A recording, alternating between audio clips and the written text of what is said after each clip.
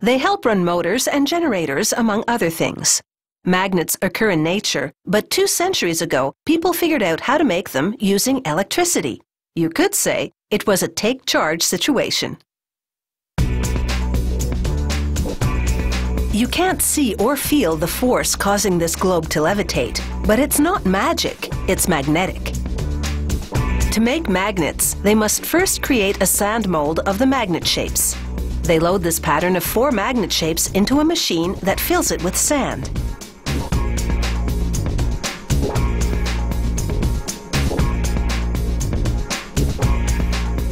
They remove the pattern and smooth the surface, dimpled by the machine's lid. Then it's back inside, but this time, the machine pumps in gases to chemically harden the sand. It takes just seconds to solidify. They lift out the sand slab, revealing the impression of the magnet pattern. It's now a mold.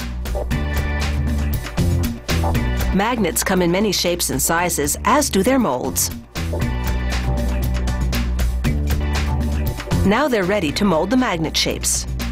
They take copper, cobalt, sulfur, nickel, pure iron, aluminum, and titanium.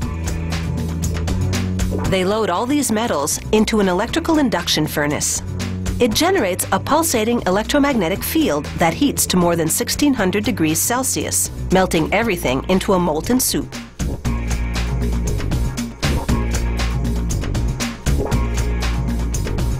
They pour it into the sand molds.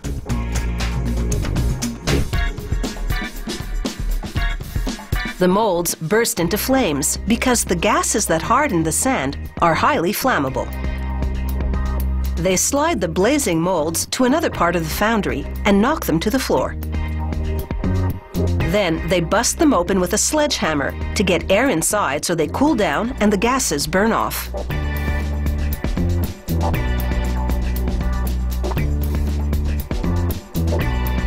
They shovel everything into a bin and sort the metal shapes from the sand chunks using what else? A magnet.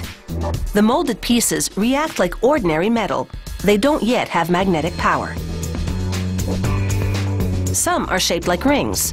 Threaded onto a copper pipe, they'll be used in electric motors. They place the ring-covered pipe in a much larger tube. Then they center it by packing silica sand tightly around it. The sand will hold the rings in position during the next step.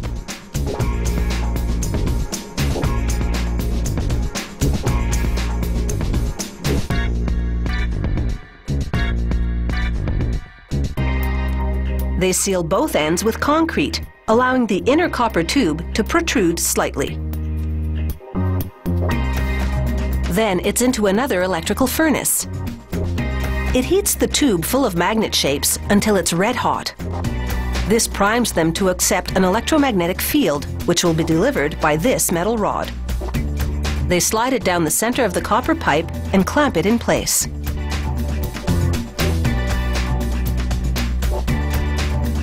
Water keeps the pipe from melting as they deliver a low voltage, high current charge in a cylindrical formation, important for motor magnets. They break open the seal. The process has left the ring shapes mildly magnetized, but most importantly, it's oriented the magnetic field properly. They grind away any rough edges.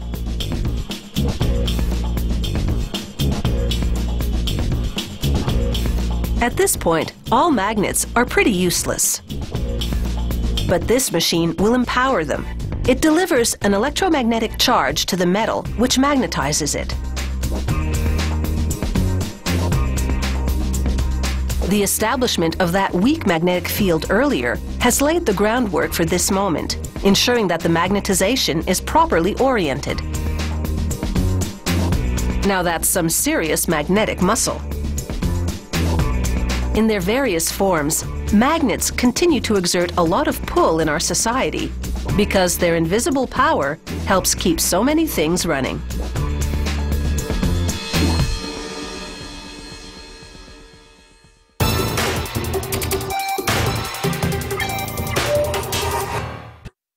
Ham is the hind leg of a pig. You can buy it raw or